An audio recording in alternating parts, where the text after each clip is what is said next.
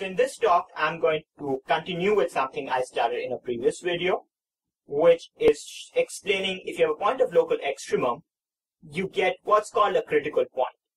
And, and in the process, I'll define critical point exactly. Now, in the previous video, I, I explained that if you have a point of local max-min at some point, uh, then the directional derivative in any direction at the point, if it exists, has to be zero.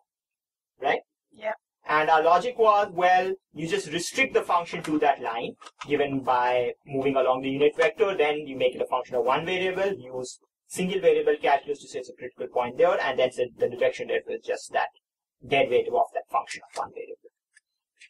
Now I want to sort of give a version of this which is more useful for nice functions, and that is the gradient vector version.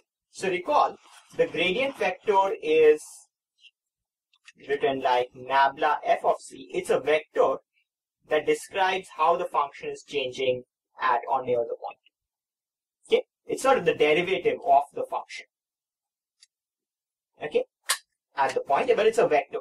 And the, the magnitude describes how quickly the function is changing, the direction describes the direction along which the change is concentrated. Also recall that for any direction, the directional derivative in that direction is the unit vector for the direction dot product with the gradient vector. Okay, if the gradient vector exists. So if the gradient vector exists, then the direction derivative must exist in every direction Mhm. and must be equal to the dot product. Now you can have situations where the directional derivatives exist but the gradient vector doesn't. Mhm. But if the gradient vector exists, then the direction derivatives are given by this formula. Now, now if you have a local maximum, we said that every directional derivative is zero if it exists. Okay, now if the gradient vector exists, what can you say? Hmm? Think. So if the gradient vector exists, Mm. okay, let's just get this out again. Formula. So the gradient vector exists. Mhm. for every unit vector, the directional derivative exists. Okay, so we are in the exists case, which means that for every unit vector, if you have a point of local maximum, for every unit vector, the directional derivative is Zero. zero. Which means that the gradient vector is a vector with the property that its dot product with every unit vector is Zero. zero. Now, what kind of vector would have that property that the dot product with every unit vector is zero? Zero.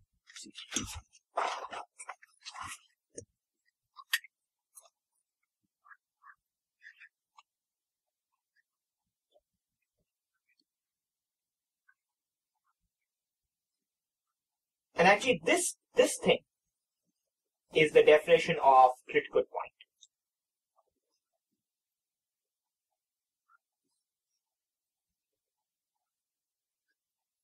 For a function of multiple variables. Can you just repeat the logic again? How did we get get this from this? Well, first we know if f has a local maximum at a point, Hmm. the directional derivative must be zero if it exists For every direction. hmm for every direction. Hmm. And we also know the relationship between the uh, directional derivative and the gradient vector. If the gradient vector exists. So if the gradient vector exists, then all directional derivatives exist hmm and they have this relation. Okay. Mhm. So So we if the gradient vector exists, then it must be zero why? because the dot product of the gradient vector with any unit vector u must be zero. And if you have a vector whose dot product with every unit vector is zero, that vector has to be the zero vector. Mhm. Uh, one way of seeing that is you just take the unit vector along the direction of the vector itself if it's non-zero, and that should give you something non-zero. There's many ways of seeing, ways of seeing that. Uh, now, computationally, I just remind you, usually the gradient vector has a nice expression, nice way of describing it. If the gradient vector exists, what does that mean? Like, how is it, how is it uh, described if it exists? It's the partial derivative of its x. coordinates are the partial derivatives, right? hmm So this in particular would imply that all, are we here? Yeah. All partials first order partials of f at c are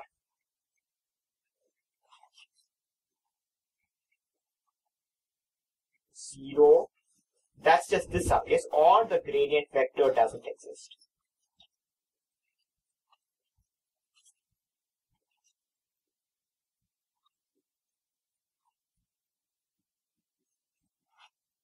but actually you can you can sort of say it a little more strong. So, so the way I've written it is a little weaker than what you have. You actually have, since all directional derivatives are zero if they exist, one sort of condition you can get is that all partials are zero if those individual partials exist.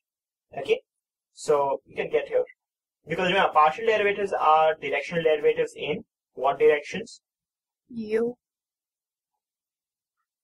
Well, what is u? So if so you basically take a unit vector along just the direction of one variable, right? Mm.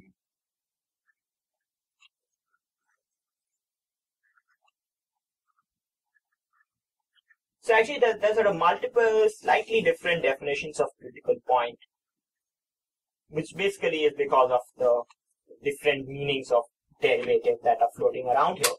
But definitely one way you can sort of computationally try to narrow down the candidates for local max min is you first compute all the partials, okay? Hmm? Mm.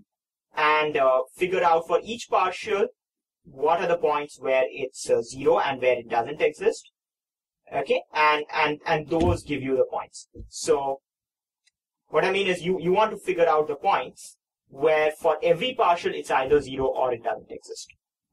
And and then it's likely if you have continuity assumptions, if the gradient vector exists, then then that the gradient vector is also zero if it exists. So in most cases, these all these formulations are equivalent. Direction vector is zero, partial is zero, gradient vector is zero, but you have these kind of weird counter examples where one thing exists and the other doesn't. Okay. So in, in the videos where we talk about how to do this practically, I'll go into those in a little more detail. But in practice, you just sort of set each of the partials equal to zero, figure out where it's not, and take the solve and find the candidates, and those are your critical points. Okay. And now, what do you think we'll need to do next? We have to devise a test to figure out whether a given critical point gives you a point of local max or min or neither. Okay, that's going to be sort of the next step uh, if you are building the parallel with the single variable calculus, and that we'll see in subsequent videos.